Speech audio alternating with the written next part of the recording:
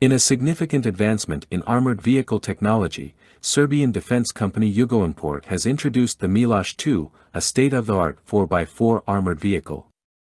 This next-generation vehicle is able to rival other contemporary armored vehicles in its class. The Milosh 2 is a refined version of its predecessor, the Milosh 1. Notably, it boasts a payload capacity of 2,500 kilograms, a substantial increase from the 1,200 kilograms of the Milosh 1. The vehicle's design allows for the integration of a heavy turret and can accommodate 10 military personnel, up from the previous capacity of 8.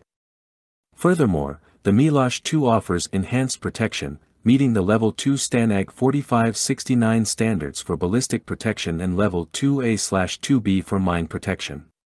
This innovation positions the Serbian State Defense Company to compete robustly in the European armored vehicle market, challenging established names like the German Dingo 2 and the Eagle from General Dynamics European Land Systems, DELS, among other combat platforms currently available.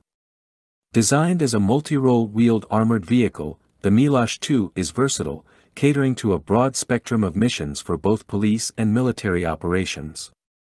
Its design emphasizes a self-supporting hull, modern drive, transmission assemblies, and an independent suspension system. This ensures unparalleled mobility across diverse terrains and weather conditions, even with a combat weight surpassing 18 tons. The Milosh 2's adaptability is evident in its potential configurations. It can serve in patrol and reconnaissance missions, function as a command vehicle, support special operations units, and engage in anti-guerrilla, anti-terrorism, and anti-tank operations. Its capabilities extend to border and territorial control missions as well. Due to its new design, the Milosh 2 can be fitted with a remotely controlled weapon station that is armed with one 20mm automatic cannon, a 7.62mm machine gun, a 30mm automatic grenade launcher, six smoke grenade dischargers, and two launchers for a modernized version of the anti-tank guided missiles Maljutka, Russian at-3 Sagger.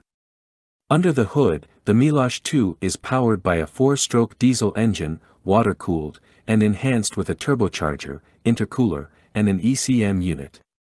The engine boasts a displacement of 6.7 liters and can generate a power of 252 kilowatts, 338 HP, at 2800 RPM, 1.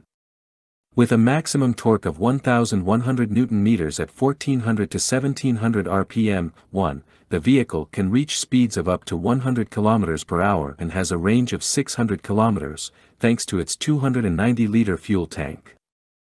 With the introduction of the Milosh 2, Yugoimport has undoubtedly solidified its position in the global defense market, offering a vehicle that combines power, versatility, and advanced technology.